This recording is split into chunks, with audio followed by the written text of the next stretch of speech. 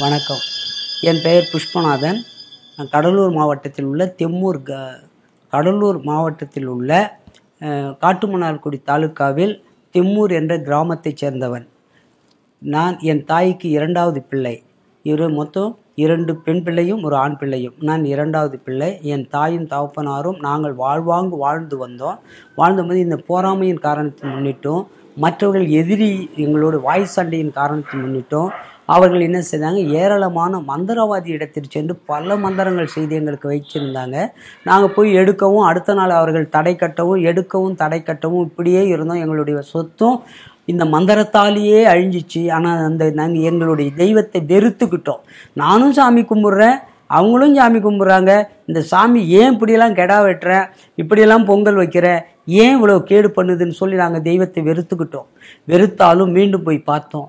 அவர்கள் என்ன செய்கிறாங்க உங்களுக்கு வந்து சண்டாள மயில வாழை மரத்தின் கீழே செய்து வச்சிருக்காங்க. உங்கள் சந்ததியே அழியிற மாதிரி அப்படின்னு சொன்னாங்க. சொன்ன பிறகு என் தாயும் தகப்பனாரும் எல்லா பட்னூல் மந்திரவாதியிலிருந்து ச- ரிஷி மந்திரவாதியிலிருந்து தோப்பு தெய்வ மந்திரவாதியிலிருந்து எல்லாரையும் போய் பார்த்தாங்க.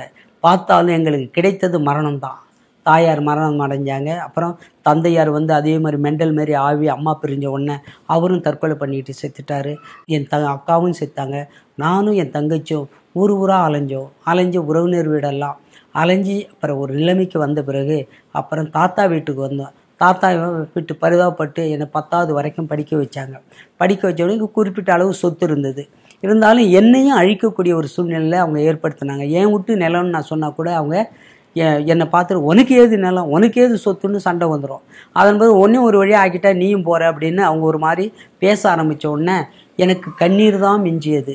கவலையும் கண்ணீரும் ஏன் பிறந்தோம்? இந்த சாவுற இந்த ஹம், இருக்கிறான்னு தெரிஞ்சால் நானே போய் வாயால் சொல்லி செத்துருவேன் வந்து அப்படின்னு இந்த சிறு வயதிலேயே ஏக்கமாக இருந்தேன். அதன் பிறகு தாத்தா மலேசியாவிலேருந்து உங்கள் பேர பிள்ளை இவ்வளோ கஷ்டப்படுறாங்க ஒரு தடவை வந்து பார்த்துட்டு போங்க அப்படின்னு அவங்க சொல்லும் பொழுது தாத்தா வந்தார். தாத்தா கொண்டு போய் அவரும் ஒரு மந்திரவாதி கிட்ட அழைச்சிட்டு போயிட்டு கொண்டு போய் பார்க்கும்பொழுது அவங்க இருந்து உங்களுக்கு மூ உங்கள் சந்ததி எல்லாமே மந்திரத்தால் அழியிற மாதிரி செய்து வச்சுருக்காங்க. அந்த மைய எல்லாம் நீ எடுத்தீங்கன்னா ஒரு சிலது பாதாளம் ஓடிடுச்சு ஒரு சிலது சிலையில் செய்து அமைக்க வச்சிருக்கிறாங்க. அதனால் அந்த சிலையை எடுக்கும்போது அவங்க எப்போல்லாம் ஜோ பூஜை பண்ணுறாங்களோ அப்போல்லாம் அது பவர் ஏறி உங்கள் குடும்பத்தை அழிக்கும். அதனால் நேச நான் ஏதாவது ஒரு நல்ல நிலைமை செய்ய அனுப்பி வைக்கிறேன்னு சொல்லி அந்த மந்திரவாதி ரிஷி ரஜகுண்டு சித்த வைத்து பட்னூல் மந்திரவாதி கிட்ட என்னை கொண்டு போய் விட்டாங்க. விட்ட பொழுது அவர் என்ன செய்தார்? பௌர்ணமி அன்னைக்கு வர சொல்லி அமாவாசை பௌர்ணமிக்கு வர சொல்லி குரு பூஜை கொடுத்து என்ன மந்திரவாதி ஆக்க இது பண்ணாங்க. தாத்தாவும் கொண்டு வந்த பணங்காசை அவர்கிட்ட கொட்டி கொடுத்தாங்க. ஆனால் அந்த மந்திரவாதிக்கும் குடும்பம் இல்லை. என்னது என்னை வந்து உன்னை பெரிய ஆளை ஆக்குறேன்னு சொன்னவருக்கு கொண்டு போய் அங்கே கொண்டு விட்ட உடனே என்னை வச்சு எல்லாம் ஒரு ஒரு ஒரு ஒரு சின்ன சின்ன மந்திரங்கள் செய்ய சொல்லி எனக்கு கொடுப்பாரு. அதாவது பெண்களுடைய முடியை கொட்ட வைப்பது எப்படி? பெண்கள் அதாவது ஒரு பெ- ஆணை ஏமாத்திய பெண்ணின் பல்லு ஒன்று கூட இல்லாமல் உடைந்து அவள் வாழ்வு கெட்டு போகணும். அதுக்கு எப்படி? இன்னும் பலவாறு கொடுத்தாங்க. ஆனாலும் மந்திரத்தில் பாதிக்கப்பட்ட நான் என்னுடைய குடும்பத்தில் நான் ஈகை குணமாக சிந்திக்கக்கூடிய தன்மையை இழந்து போனேன்.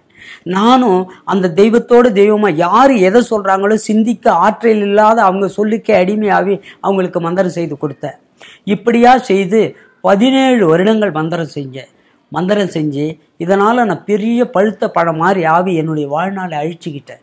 திருமணம் ஆகலை.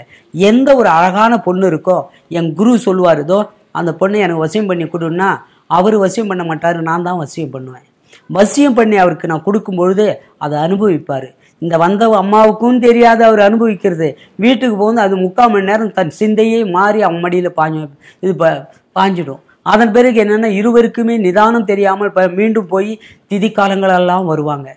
இப்படியா எல்லாமும் அறிந்த பிறகு என்ன செய்தேன் இருக்கக்கூடிய பெரிய பெரிய ஆளுக்கூட கூட மோத ஆரம்பித்தேன் நான் ரஜகுண்டு சித்தை வைத்திய பட்னூல் மந்திரவாதி. ரஜகுண்டு என்றால் பச்சலை. அதாவது குடியோட்டி பச்சலை அடுத்தது கீழாநெல்லி வேறு பெரியானங்கை சிறியானங்கை என்கிற மாதிரி வெ வெள்ளருக்கு வேறு இப்படியாப்பட்ட பல ப பச்சலைகளின் மூலமாகவே மந்திரம் செய்கிறது. அந்த ஒரு இலையை கொண்டு வந்து ஒரு வீட்டில் போட்டால் சரி. அது குடியோட்டி பச்சளை இருக்குது அதில் நூற்றி எட்டு ஊர் ஆயிரத்தி எட்டு ஊர் போட்டு ஒரு குடும்பம் நல்லா வாழ்கிற குடும்பத்தில் தூக்கி வீசிட்டோமா அந்த குடும்பம் வாழவே வாழாது. அந்த குடும்பம் தரமட்டமாக ஆகி அந்த ஊரை விட்டே போயிடுவாங்க. அவங்க குடும்பம் அழிஞ்சு போகும். அந்த நிலையில் நான் இழந்து போன சந்தோஷத்தை பெறுவதற்காக அங்கே போனேன்னா அந்த மந்திரவாதத்திற்கு அடிமையாகி மந்திரவாத தெய்வத்திற்கு தெய்வமாய் மாறி பல குடும்பத்தை கெடுக்க ஆரம்பித்தேன் இப்படியா பதினேழு ஆண்டுகள் மந்திரம் செஞ்ச இந்த மந்திரத்தின் மூலம் எனக்கும் எந்த பலனும் இல்லை. நெத்தியில் பட்டை கழுத்தில் கொட்டை காலில் கட்டை. இப்படி வச்சு ஒரு துண்டு துணியும் இடுப்பில் ஒரு காவி துண்டு கட்டி வாழ்ந்துக்கிட்டு இருந்தேன். ஆனாலும் உள்ளுக்குள்ளவே மற்றவர்கள் உத்தமம் போல தெய்வத்தோட தெய்வமாக இருக்கிறான்னு. ஆனால் அங்கே தெய்வத்தோடு தெய்வமே இல்லை. ஆனாலும் பொய் பொருளாக சொல்லி என் பொய்யே வண்டியில் என் பொய்யே என்னால் தூக்க முடியல. எப்போ எங்கள் அப்பம் பொய் வண்டியில் வருதுங்கிறது தான் மந்திரவாதியினுடைய பொய்யின் மூட்டைகள். இப்படியாய் பதினேழு வருடம் மந்திரம் செய்த நான் மன நிம்மதி இல்லாத தவிச்சேன். ஆனாலும் பலருக்கு பணத்தை வாங்கி கொண்டு மன நிம்மதி தேடி கொடுத்த எனக்கு எனக்கு மன நிம்மதி இல்லை.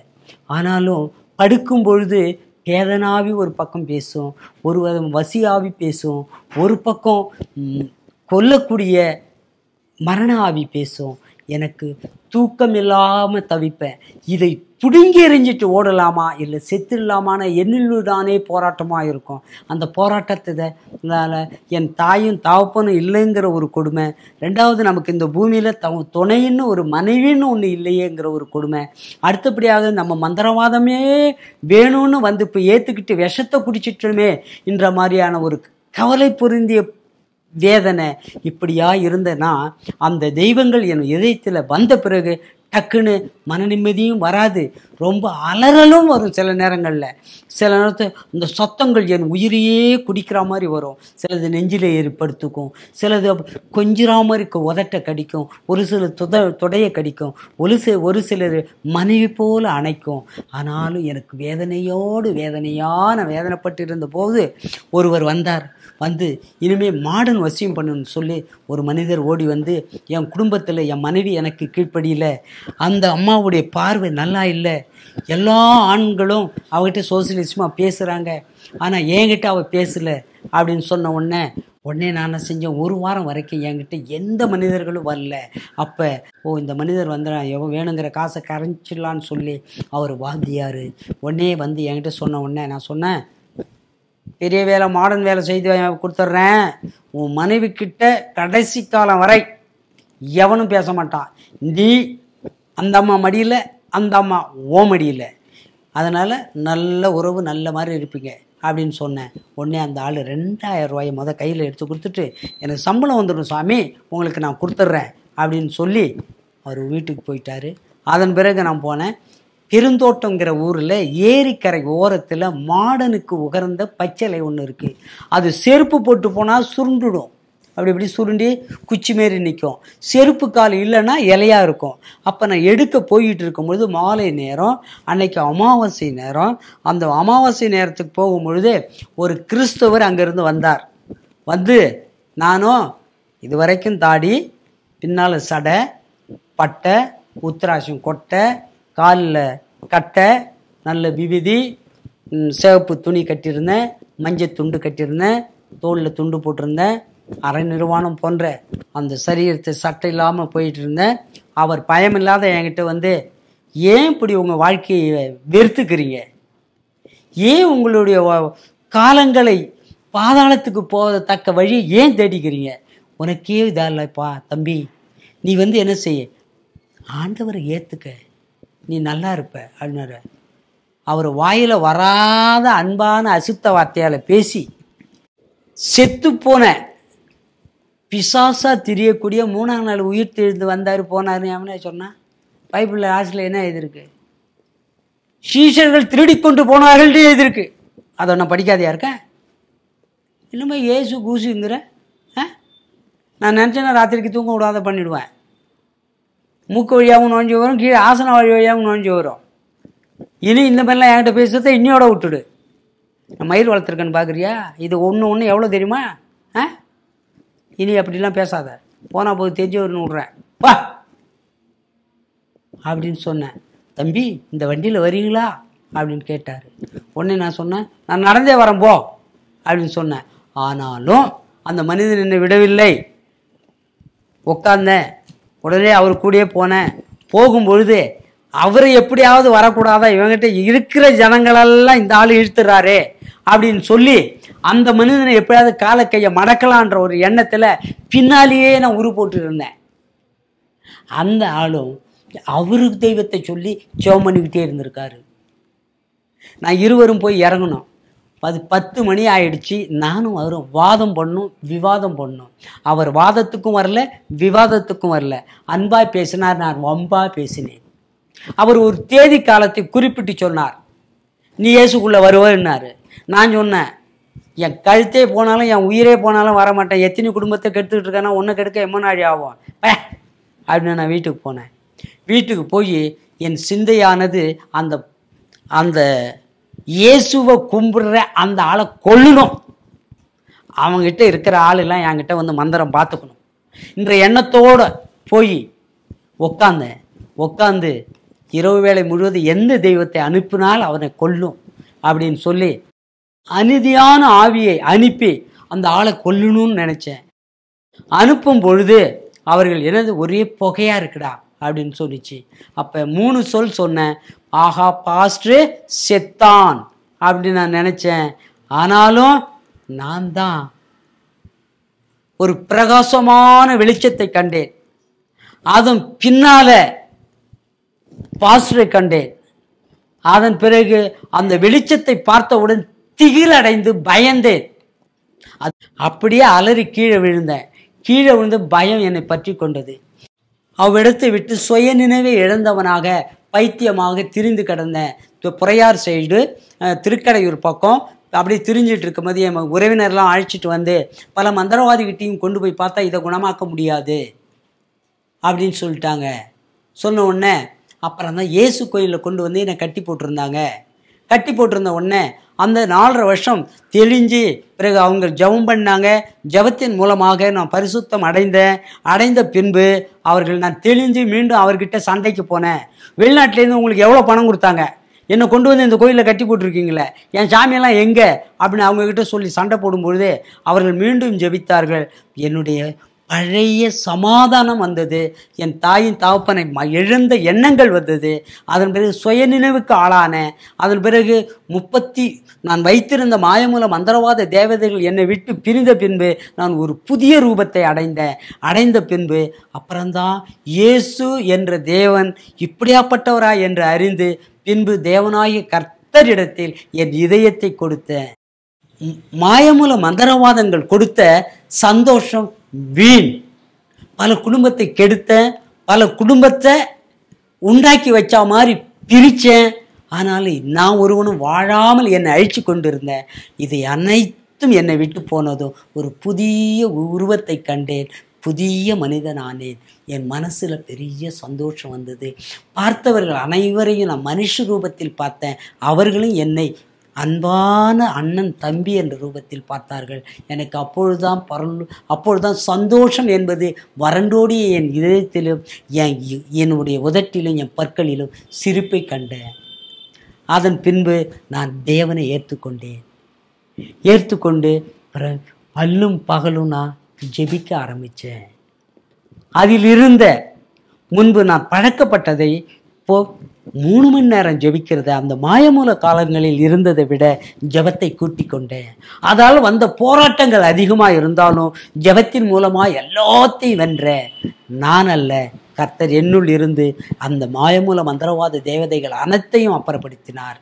நான் புது உருவம் எடுத்தேன். பின்பு எனக்கு வாழணும்னு ஆசை வந்தது. பிறகு பலரிடத்திலையும் என் கடந்த சாட்சிகளை சொன்னேன். பல மனிதர்கள் ரட்சிக்கப்பட்டார்கள் பல மனிதர்கள் மந்திரத்தால் பாதிக்கப்பட்டவர்கள் அழுதார்கள். காலை பிடித்து திணறினார்கள். நீ திருந்தினியே இது போதும். இன்னும் பல குடும்பத்தை கெடுக்காத இருந்தியே இது போதும் என்று சொன்னார்கள். அப்பொழுது என் மனமானது வெம்பி அழுதது. திணி குடும்பத்தை கெடுத்துமே. இவ்வளோ பேர் மரணத்துக்கு நேராக அழைச்சி சென்றோமே. இவ்வளோ பேர் நு ஆணியடித்து இழுக்க விட்டோமே. இவ்வளோ பேர் பாதாளத்துக்கு அனுப்புனோமே. நாமளும் பாதாளத்துக்கு போகக்கூடிய சூழ்நிலை வந்தது. இப்படி ஒரு நல்ல பாதை இருக்குன்னு அப்போ தெரியலையே. அப்போ இது இருந்தால் நான் இதை ஏற்றிருக்க மாட்டேன்னு தேம்பி தேம்பி அழுதேன். அதன் பிறகு கர்த்தரை ஏற்றுக்கொண்டேன். ஏற்றுக்கொண்டு எல்லோரிடத்திலும் என் சாட்சியை சொன்னேன். சாட்சி சொன்னி தேவனை முன்வைத்த பல குடும்பங்கள். தேற்றப்பட்டன பல மந்திரவாதிகள் ரட்சிக்கப்பட்டார்கள். எனக்கு கிளை கிளையாக இருந்த மந்திரவாதிகள் ரட்சிக்கப்பட்டார்கள். என் நான் கொடுத்த மையில் குறி சொன்னவர்கள் ரட்சிக்கப்பட்டார்கள். இன்று குடும்பம் நடத்திக்கிட்டு இருக்கேன் எனக்கு ரெண்டு ஆண் குழந்தை இருக்குது கர்த்தர் ம், என்னை ஆசீர்வாதமாக வைத்திருக்கிறார்.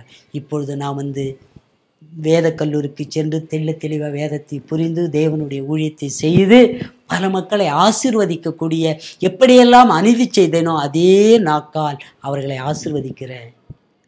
என்ன மாயமூலம் என்று சொல்லக்கூடிய வார்த்தை என்று மாறி பரிசுத்தம் உள்ள ஊழியக்காரன் என்று சொல்லும் வார்த்தையை தேவன் கொடுத்திருக்கிறார்.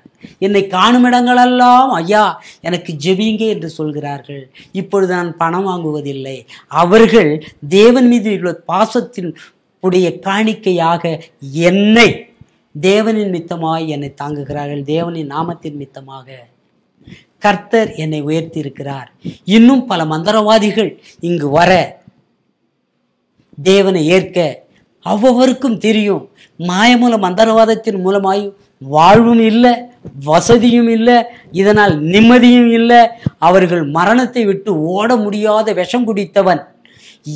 உடம்பே உயிரை தின்னா உயிர் யாருக்கிட்ட வெறுத்துக்கிறது? என்கிற மாதிரி வேதனைப்பட்டு கொண்டு இருக்கிற மந்திரவாதிகள் இதை பார்ப்பார்களேனால் அவர்களும் திருந்துவார்கள். ஆனாலும் உண்மையானவர் ஒரே தேவன். அந்த ஒரு தேவன் தான் கர்த்தராகிய இயேசு கிறிஸ்து என்று அணு தினமும் பறைச்சாற்றி இப்பொழுது பரலோக சந்தோஷமும் புலோக ஐஸ்வர்யமும் என்னை நாடி தேடி வருது. இப்போ எந்த கவலையும் இல்லாமல் வாழ்வாங்கு வாழுற என்னுடைய இருப்பு என்னுடைய எனக்கு இப்பொழுது என் இப்பொழுது எனக்கு ஐம்பத்தி ரெண்டு வயது. எனக்கு ஒரு இரண்டு ஆண் குழந்தை இருக்கிறது மனைவி இருக்கிறாங்க விசுவாச பிள்ளைகள் இருக்கிறாங்க ஆண்டவர் பரலோக சந்தோஷத்தை கொடுத்திருக்கிறார் பூலோக ஐஸ்வர்யத்தை கொடுத்திருக்கிறார். வாழ்வாங்கு வாடுறேன் என்னால் பாதிக்கப்பட்டவர்களை நானும் தாங்குறேன் அவர்களுக்காகவும் ஜெபிக்கிறேன். கர்த்தர் உங்களை கேட்டவரை ஆசிர்வதிப்பாராக. இந்த சாட்சியை கேட்ட உங்கள் அனைவரும் கர்த்தர் ஆசீர்வதிப்பாராக. நான் ஒரு சிறு ஜபம் செய்கிறேன். ஸ்தோத்திரங்க தாவே ஸ்தோத்திரம் ஸ்தோத்திரம் ஸ்தோத்திரம் அப்பா. வானத்திற்கும் பூமிக்கும் சகலதிகாரம் படைத்தவரே நேற்றும் இன்றும் என்றும் மாறாதவரே துதிக்கிறேன். ஆண்டவரே பரலோகம் தேவலோகம் நரகலோகம் என்று ஆண்டவரே மூன்று உலகத்தை படைத்த வானம் முது சிம்மாசனம் பூமி முது பாதபடி அப்பா. மாயமூல அந்தரவாதத்தின் மூலமாகவும் ஆண்டவரே சோசியம் மூலமாகவும் ஆண்டவரே நட்சத்திரத்தின் மூலமாகவும் பாதிக்கப்பட்டவர்கள் இதை கேட்டு மனமாறி ஆண்டவர் உம்மிடத்தில் வருவார்களாக இயேசுவின் நாமத்தினாலே. என் தேவனாகிய கர்த்தாவே துதிக்கிறேன் சுவாமி. என் தேவனாகிய கர்த்தாவே அவர்களுடைய ஆவி ஆத்மா சரீரம் எலும்பு நரம்பு தசை இரத்த நாணங்கள் உள்ளூர உறுப்பை பாழ் செய்து வருகிற பொல்லாத அசுத்தை கிரைகளும் அந்தகார சக்தியும் அவர்களை இதை கேட்பவர்கள் ஆண்டவரை சரீரத்தை விட்டு அகன்று ஆண்டவரை பாதாளத்திற்கு போவதாக இயேசுவி நாமத்தினாலே. கேட்ட ஒவ்வொருவரும் பரலோக சந்தோஷமும் பூலோக ஐஸ்வர்யமும் அந்நிய தேவர்களை பின்பற்றவர்களுக்கு துன்பம் பெருகும் என்று சொன்னீரே. அந்நிய தேவர்களை உருக்கமாகவும் மன இரக்கமாகவும் ஆண்டவரை வணங்கக்கூடியவர்கள் பக்தி உள்ளவனை தனக்காக தேர்ந்தெடுத்து கொண்டேன் என்று சொன்னீரே. அப்படி ஆண்டவரை பக்தி உள்ளவர்களை ரட்சித்தருளும். அவர்கள் குடும்பத்தை ஆண்டவரே பா பாழ் செய்து வருகிற பொல்லாத அசுத்த ஆவியும் அந்தகார சக்தியும் அக்குடும்பத்தை கேட்கும் ஒவ்வொருவருடைய குடும்பத்தையும் விட்டு அகன்று அப்புறப்பட்டு போவதாக இயேசுவி நாமத்தினாலே. தசை பிடித்து வைத்திருப்பதும். ஆண்டவரே இப்போ பொல்லாத ஆண்டு ஒவ்வொரு நாளும் ஆண்டவரே தன் ஜீவனை வைத்து ஆண்டவரே அப்பா வேதனைப்பட்டு வருகிற குடும்பமும் ஆண்டவரே உம்முடைய நாமத்தின் மித்தமாய் இவர்கள் இன்றிலிருந்து கோடி மடங்கு ஆசீர்வதிக்கப்படுவார்களாக இயேசுவி நாமத்தினாலே. வடக்குக்கும் தெற்குக்கும் கிழக்குக்கும் மேற்குக்கும் ஆண்டவரை அசுத்தத்தை அகற்றி அப்புறப்படுத்தி பரிசுத்தால் பாதுகாத்து நன்மையால் நிரப்பி ஆண்டவரே உம்முடைய ஆண்டவரே சிலுவை நிழலில் அவர்களை மூடி மறைத்தருளும் உமக்காய் அவர்கள் ஆண்டவரே பிரகாசிக்க ரட்சிக்க அவர்களை ரட்சித்தருளும். ஆண்டவரும் இரட்சகருமாவாய் இருக்கிற கத்தாவே உமது ரத்தத்தால் கழுவி காயங்களால் குணப்படுத்தி தேற்றும். இவர்களுக்கெல்லாம் நீ ரத்தம் சிந்திருக்கிறீர் சுவாமி. நீரே பலியாய் இருக்கிறீர் வேறு பலி செலுத்தாமல் ஆண்டவரே இவர்கள் ஆண்டவரே ஸ்தோத்திர பலி செலுத்த என் தேவன் அவர்களை ரட்சித்தருளும். ரட்சிக்க போற கிருபைக்காய் நன்றி. கடந்தொல்லை கஷ்டத்திலிருந்து விடுதலை செய்யும். என் தேவனாகிய கர்த்தாவே ஆகாதவன் வந்து அவர்களை பிடித்து மாயமுல மந்திரவாத கட்டுகள் இதை பார்க்கும்போது கேட்கும்பொழுது அவர்களை விட்டு கட்டவுத்தப்பட்டு ஆண்டவரே பாதாளத்திற்கு போவதாக இயேசு நாமத்தினாலே. அவர்கள் பரிசுத்தம் அடைவார்களாக இயேசு நாமத்தினாலே. பரிசுத்தம் அடைந்தமைக்காய் நன்றி. ஜெபம் கேட்கிற இயேசுவின் நாமத்தில் நல்ல பிதாவே. ஆமேன். ஆமேன். ஆமேன். இந்த நிகழ்ச்சியை பார்த்து கொண்டு இரு இந்த நிகழ்ச்சியை பார்த்து கொண்டு இருக்கிற சகோதர சகோதரிகளும் பெரியோர்களும் முதியோர்களும் மாயமூல மந்திரவாதியால் பாதிக்கப்பட்டவர்களும் உங்களால் பாதிக்கப்பட்டவர்களும் கொடிய நோய் உள்ளவர்களும் ரெனக்காயம் உள்ளவர்களும் நீங்கள் என்னை மாயமூல மந்திரவாதி என்று காணாமல் பரிஸ்தவான் என்றும் ஊழியக்காரன் என்றும் எண்ணி நீங்கள் எனக்காக ஜெபியுங்கள் என்று சொன்னால் உங்களுக்காக நான் ஜெபிக்கிறேன். என்னுடைய ஃபோன் நம்பர் இந்த திரையின் கீழ் இருக்கும். பாருங்கள் நீங்கள் என்னை எழுதி அனுப்புங்கள். தொலைபேசி கைப்போன் மூலமாக தொடர்பு கொள்ளுங்கள். உங்களுக்காக நான் ஜெபிக்கிறேன். கர்த்தர் உங்களை ஆசீர்வதிப்பார்கள்